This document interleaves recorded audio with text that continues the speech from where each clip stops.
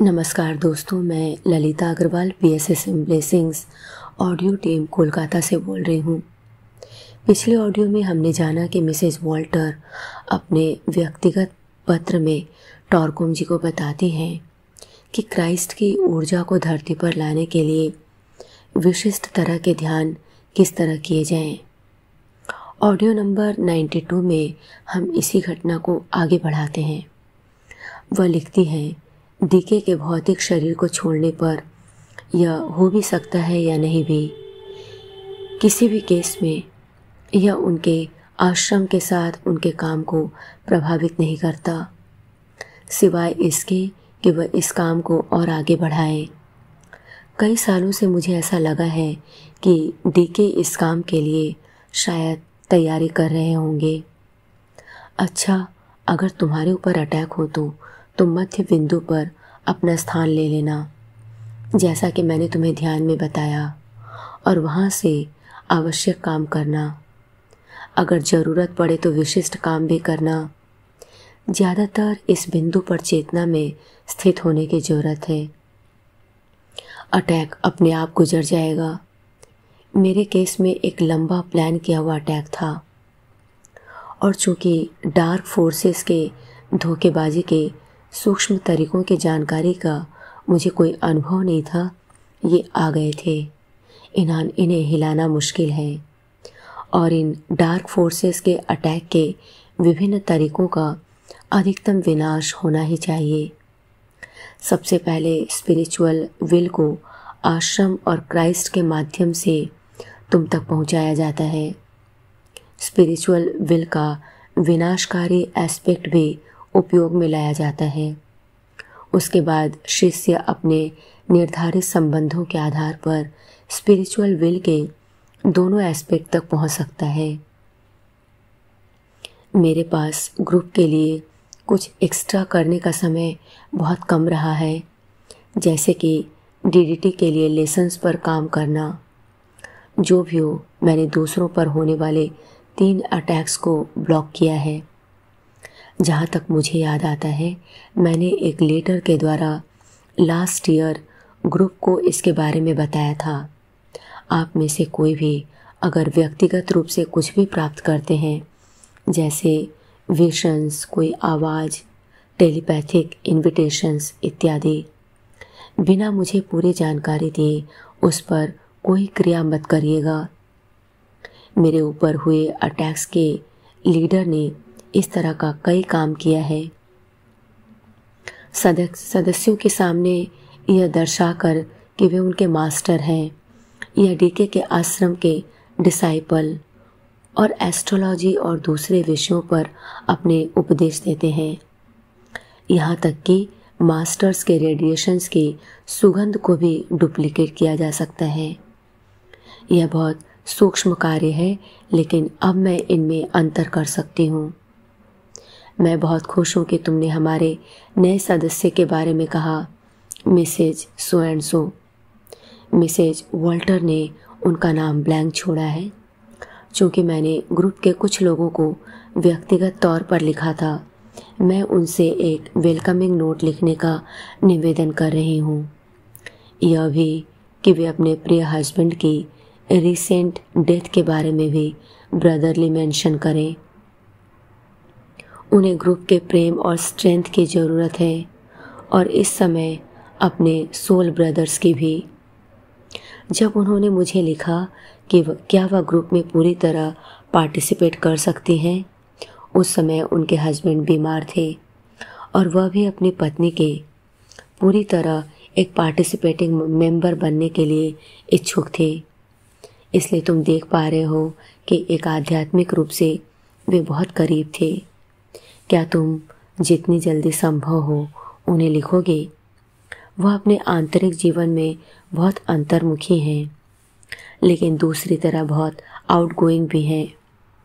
DDT में किसी को एक स्थान पर रखने के बारे में गाइडिंग ग्रुप और मेरे दिमाग में एक लंबे समय से था। हाल ही में उन्होंने बहुत अच्छे नंबरों से सेकेंड बर्निंग ग्राउंड पास किया है, और जब मैं कैलिफ़ोर्निया में थी फ़र्स्ट नवंबर को मैंने उन्हें तीन बार देखा और उनसे इस स्थान को ग्रहण करने के लिए तीन बार निवेदन किया उन्होंने स्वीकार किया, लेकिन जैसा कि मैंने पहले ही लिखा है, मेरे पास कुछ भी करने का बहुत कम समय रहा है, सिवाय इसके कि मैं अटैक्स का ध्यान रखूँ और उन्हें ओवरकम करूँ। जहाँ तक कम्युनिकेशन की बात है, मुझे डीडीटी को नेगलेक्ट करना पड़ा वह साथ में आ रही है और उन्हें शायद बाद में काम में लिया, लाया जाए। उन्हें अपना जीवन यापन करने के लिए अपनी आंतरिक शक्ति की सीमाओं तक काम करना है। वह इस कार्य को बहुत ग्रेसफुल्ली करती हैं और साथ ही अपने सब्जेक्टिव साइड को भी हैंडल करती हैं। लेकिन उनके पास पेपर्स और लंबी रिपोर्ट्स लिखने का समय बहुत कम है। उनका अनुभव इससे कहीं गहरा है। वर्तमान में और कुछ समय से मैं उन्हें कई वर्षों से जानती हूँ और स्कूल में उनके पहली सेक्रेटरी थी, जिससे उन्होंने शादी के पहले ज्वाइन किया था। लेकिन तुम्हारे सुझावों के लिए तुम्हें धन्यवाद। यह मेरे प्रति व्यक्तिगत रूप से संवेदनशील होना है। यह भी कि कभी कभी उन्हें कुछ आश्चर्यजनक चीज़ें प्राप्त होती है, जो मेरे दिमाग में चल रही हैं। न्यूयॉर्क हेड क्वार्टर्स पर, एरकिन स्कूल के विभाजन पर मैं तुम्हें बाद में लिखूँगी। हमेशा तुम्हारी मरियन पोस्ट स्क्रिप्ट हाँ तुम्हारे अपने ग्रुप को लिखने की मेरी पूरी इच्छा है कि मैं कब इस पर अच्छी तरह ध्यान दे सकती हूँ। क्या तुम उन्हें गोपनीय उपदेश देते हो? जैसे कि ध्यान इत्यादि। इसके काम के बारे में मेरी जानकारी बहुत कम है, इसलिए उनके प्रिपेयर या काम के बारे में लिखना बहुत कठिन है। शायद तुम मुझे ज़्यादा बता सको। यह पत्र और यह चैप्टर यहीं ख़त्म होता है। हम एक नए चैप्टर की शुरुआत करेंगे, जिसका नाम है यूनाइटेड स्टेट्स में पहुँचना। यह तेरह अप्रैल 1959 की बात है कि हम एक इटालियन शिप में न्यूयॉर्क पहुँचे। यात्रा हमारे लिए बहुत कठिन थी। जहाज़ पर हर व्यक्ति जहाज़ के कारण बीमार हो जाने वाला था। अमेरिकन्स, इटालियन, फ्रेंच और बाकी राष्ट्रों के लोग भी सेम सी सिकनेस के शिकार थे। अंतिम दस दिनों की यात्रा में सिर्फ़ मैं और मेरे दो बेटे ही शिप के डाइनिंग रूम में अपना भोजन ले पाए। जब हम समुद्र पर थे, हमें दो बार डेक पर बुलाया गया ताकि हम निकलने के लिए अपनी लाइफ जैकेट्स पहन लें और शिप को छोड़ देने के लिए तैयार हो सकें। विशाल तरंगे उठ रही थी। कई बार हमारा शिप पानी की दो बड़ी दीवारों के बीच फंस गया था, एक सामने और एक शिप के पीछे। किसी तरह हम न्यूयॉर्क पहुँचे। मेरा ब्रदर इन लॉ पोर्ट पर हमारा इंतज़ार कर रहा था।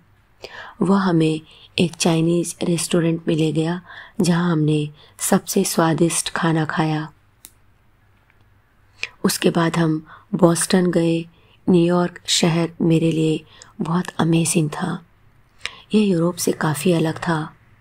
मैं सिर्फ़ वहाँ की इमारतों से प्रभावित नहीं था। बल्कि वहाँ के ट्रैफ़िक और सिटी लाइट से भी प्रभावित था।